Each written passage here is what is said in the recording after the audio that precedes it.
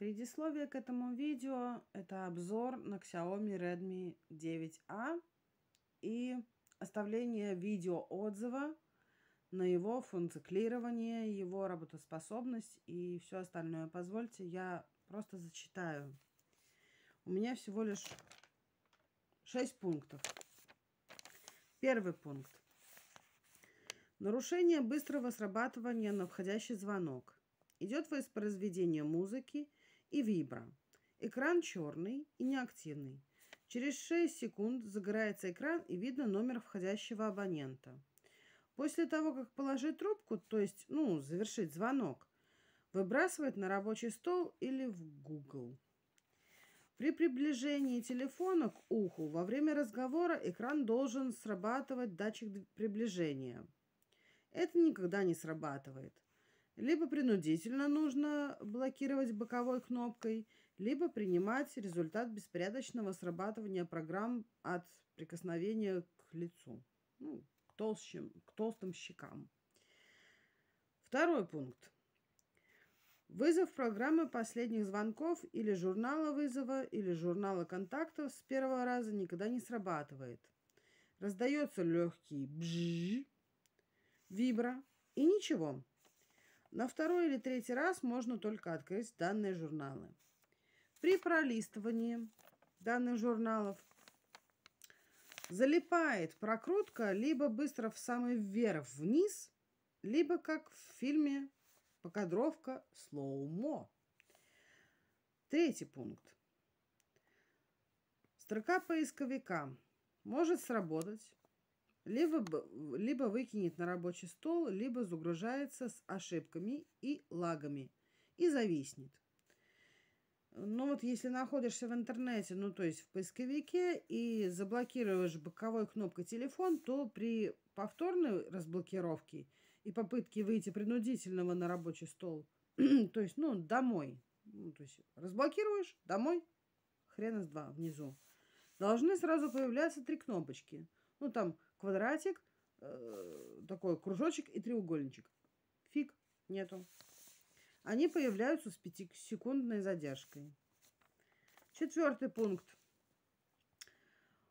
Вот включение камеры или фото это совсем интересно.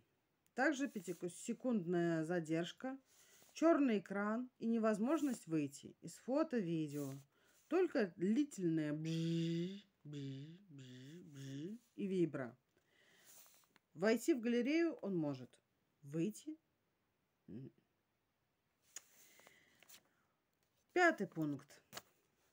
Память у телефона позволяет многое, но не самое простое. У меня 30 фото и 15 видео по 16, ну там по 20, по 30 секунд. Ну, совсем фигня. Вот только вот недавно месяц пользуюсь, ну, сколько можно снять. Чем больше фото, тем тормозит при открытии и закрытии, просмотре воспроизведений – сохранении, удалении. Ну вот, допустим, из других приложений, например, Viber, если хочешь что-нибудь послать из Viber э, другому человеку, открываешь галерею, либо оно открывается сразу, либо открывается просто белыми файликами, которые нечитаемые, невоспроизводимые, просто белый какой-то лист непонятный.